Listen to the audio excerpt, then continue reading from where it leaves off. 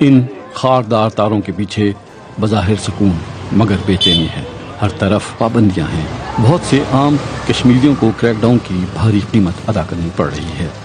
ہم یہاں شدید تشدد کے الزامات کی تحقیقات کرنے آئے ہیں۔ لوگوں کا کہنا ہے کہ یہاں فوجی مظاہرین کی تلاش میں آئے تھے، مبینہ طور پر فوجیوں نے تیرہ نوجوانوں کو بستروں سے کھسیٹ کر باہر گلی میں لا کھڑا کیا۔ دیگر لوگوں کی طرح یہ دونوں بھائی بھی کیمرے کے سامنے آنے سے گھبرا رہے تھے۔ تاہم انہوں نے ہمیں اپنے زخم دکھائے۔ لاد بھی مارا، ڈنڈے بھی مارا، پاور بھی لگا کیبل کیبل سے مارا۔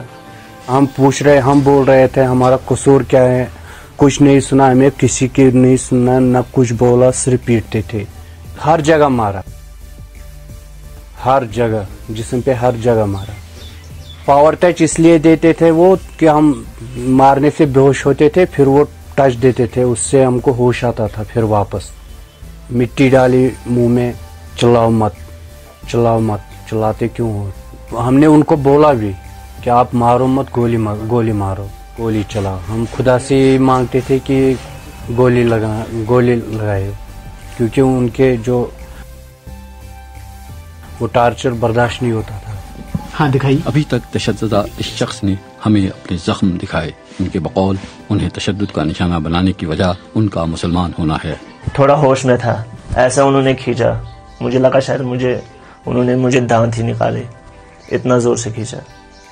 پھر جب میں پھر سے بے ہوش ہو گیا تو میرے پر ایک لڑکا تھا۔ انہوں نے بولا کہ انہوں نے جلانے کی کوشش کی۔ کسی نے شاید ان فوجوں میں کسی نے کیا کچھ بتایا کہ اس کو مت جلاؤ۔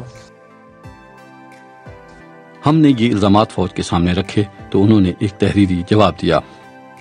الزامات بے بنیاد اور من گھڑت ہیں۔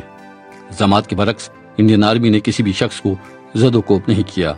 سیکیورٹی فورسز کاروائی کرتے ہوئے یہ یقینی بناتی ہیں کہ عام شہری محفوظ رہیں۔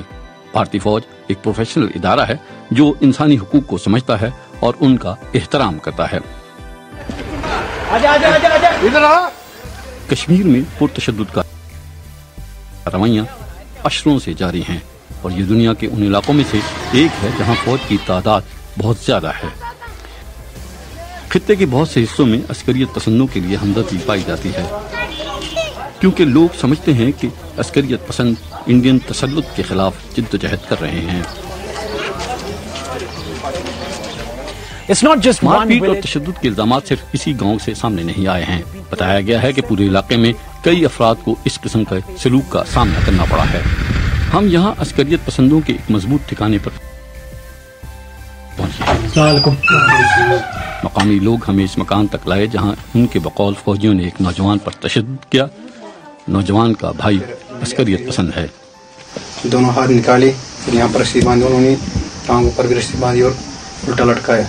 پھر بہت زیادہ مارا تقریباً دو ڈھائی گھنٹے تک۔ ٹانگ میں پھر یہ جو اوپری حصے ٹانگ کو اس میں فریکچر آیا انڈیا کے باقی علاقوں میں عسکریت پسندوں کے خاندانوں کے لیے ہمدردی کم ہی پائی جاتی ہے اور انہیں ایسے دہشت گرد سمجھا جاتا ہے جن کی پشت پناہی پاکستان کرتا ہے۔